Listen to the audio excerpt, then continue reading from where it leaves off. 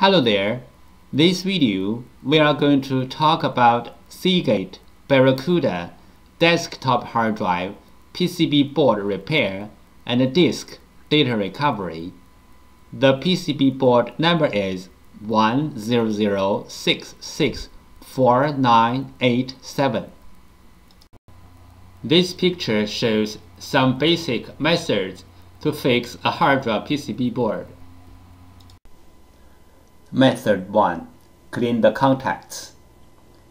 Clean the contacts on the PCB board and also on the hard drive can fix the problem caused by the poor connection between the PCB board and the hard drive. PCB board repair method 2. This picture shows the basic components on the PCB board and their functions. You may take this picture as a reference to fix your own PCB board. This picture shows other components on the PCB board. Fixing hard drive PCB board method 3. PCB board swap. PCB board swapping including two steps. 1. Find the correct donor PCB board. 2. PCB board firmware transfer. PCB board swap step 1. Find out the correct donor PCB board. Locate the hard drive model number on the front of the hard drive label. Locate the hard drive PCB board number. Different brand name, different PCB board. The PCB board numbers are different. You may go to hdd-parts.com to check out other brand name PCB board numbers. Go to www. We found the correct donor PCB board for the hard drive, but this is only the first step. The next step is we have to do the PCB board firmware transfer to make the donor board work on the original hard drive. PCB board firmware PCB board firmware is the information data on the PCB board. It may be in the memory chip or in the main chip on the PCB board. For this model hard drive, we have to do the PCB board firmware transfer first, then we swap the PCB board. Otherwise, the new board will not work on the original hard drive. What is the hard drive printed circuit board firmware transfer and why? 1. One hard drive printed circuit board includes two parts, hardware and firmware. Hardware means the components and the printed circuit board. Firmware, also called BIOS, are the data inside of the chip. 2. The firmware includes hard drive's unique configuration data. The hard drive needs this unique configuration data to work. So, we have to transfer this unique configuration data from the original board to the donor board. Then the donor board can work on the original hard drive. We call this as hard drive printed circuit board firmware transfer. Three things regarding the hard drive printed circuit board firmware transfer. 1. The printed circuit board firmware transfer is different from the hard drive firmware upgrading. The printed circuit board firmware transfer is to transfer the printed circuit board firmware from one board to another board. 2. Hard drive firmware upgrading is to upgrade the hard drive's own firmware. It nothing to do with another hard drive or another printed circuit board. 3. We can do the printed circuit board firmware transfer from the physically damaged printed circuit board, like burned, watered, or even other kinds of damages. Our printed circuit board firmware transfer success rate is more than 95%. We do the printed circuit board firmware transfer for our clients for free. What will happen if we do not do the printed circuit board firmware transfer?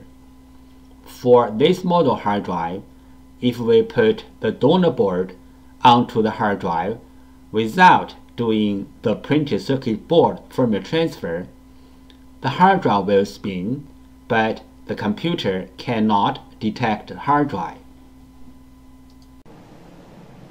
We receive many questions regarding the hard drive PCB board firmware, also called hard drive PCB board BIOS, and uh, the hard drive PCB board compatibility. So let's talk a little bit more about this in general. Some PCB boards BIOS are in the independent memory chip, like the first picture shows. Some PCB boards BIOS are integrated into the main IC, like the second picture shows. Most of the modern hard drive PCB boards need to do the BIOS transfer before swapping the PCB board. Even the donor boards are identical with the original boards in hardware. We have to transfer the BIOS from the original board to the donor board. Then the donor board can work on the original hard drive. The third picture shows some of these PCB boards. But there are some hard drive PCB boards do not need the BIOS transfer as long as the donor boards are identical with the original boards. You can swap the boards directly. The fourth picture shows some of these kind of boards.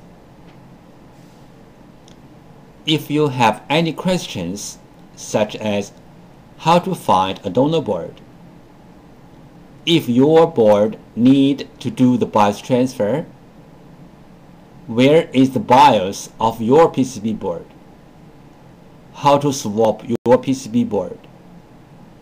Please go to www.hdd-parts.com to check it out. Or you may take pictures of your hard drive and the PCB board and email to us. We will give you the correct answer This picture shows how can we help you to find the donor PCB board for your hard drive. 1. Use your cell phone to take pictures of your hard drive and its PCB board. 2. Email the pictures to hddparts at gmail.com. 3. You will receive the donor PCB board information within 24 hours. This picture illustrated the procedure of fixing a hard drive PCB board. First, the clients sent in their PCB board. 2. We fix the PCB board. 3. We ship back the PCB board to the clients. There are some simple ways to recover data from a hard drive. One of them is try to read the hard drive by different devices, like different external hard drive adapters, computers, or enclosures. Because different devices use different way to read a hard drive, sometimes this trick works.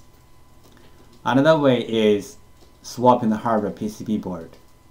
Swapping the hardware PCB board can fix the problem caused by the PCB board. There is a cost in swapping the PCB board, but it is way cheaper than sending the hard drive to a data recovery firm. If the hard drive disk assembly is damaged, we can do disk data recovery to recover the data from the disks. The common symptoms of hard drive disk assembly failure are the following. 1 hard drive makes weird sound. 2. Spin nicely but no access to any computer. 3. Hard drive no spin. Tips If the storage configured as mirrored hard drives, you can take the bad hard drive out, then put same size or bigger size another hard drive into the bay, and then the storage will mirror the data to the new hard drive automatically. If this trick doesn't work, that means the two mirrored hard drives are both damaged, or the storage was configured as RAID 0. That means the two hard drives are different. This picture shows how to use a fan to cool down the hard drive. This picture shows how to cool down the overheat chips which are under the PCB board. This picture shows the procedure how we do data recovery for our clients. First, the client send their hard drive to us. Second, we do data recovery. Third, we ship back the data to our clients.